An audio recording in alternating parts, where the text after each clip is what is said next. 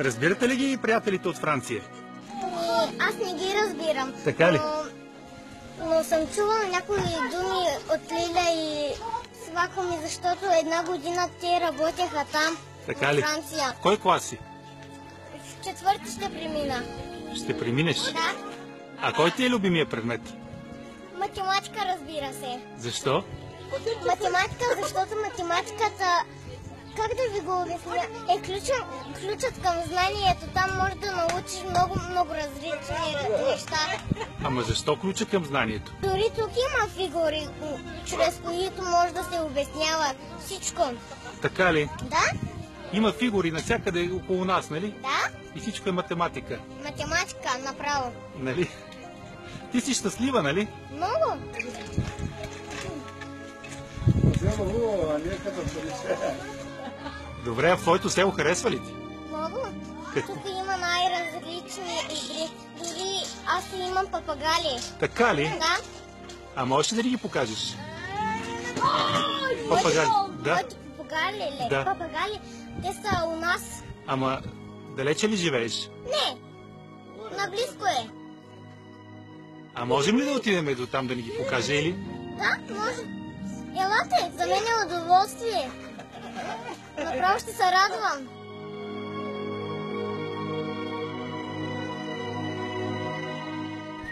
Кажи ми сега, я, я, какво? Свиркаш ли? Да? Ама чуват ли, да разбират ли какво им говориш по този начин, а? Имаш ли представа? Аз не знам, но продавачът, който ми ги даде, който ни ги даде по-скоро, той свирише и аз разбрах, че по този начин ги успокоява. Така ли? Да?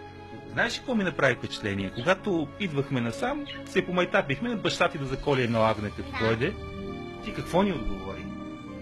Ами, отговорих ви, че не може, защото агнето ще страда. Ама защо си такава сърдечна? Това е много хубаво. Ами, по рождение съм такава.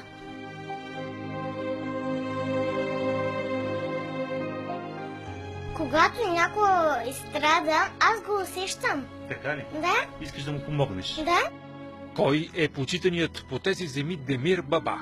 Както че си представя Алианския светец. Човека е много състрадателен и всички му се подиграват. Но той, да, всички му се подиграват и той преглъща болката в себе си. На никой нищо не казва. За мен това е много ценно нещо. Обичаш ли да четеш книги? Да. Е, В книгите разбирам много неща.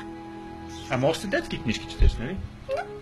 Има една много хубава книга, която трябва да прочетеш, ако не си е чела. Малкият принц се казва. О, цяла съм я. Изпомниш ли си нещо от там?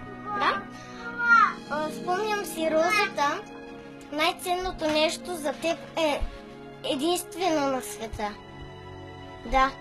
А това за малкия принц е розичката, малката роза, която се грижи. Това е най-ценното за него и единствено в света. Знаеш какво е уникален човек? Ами не. Да си уникален, осъзн- осъзнаваш ли какво е да си уникален?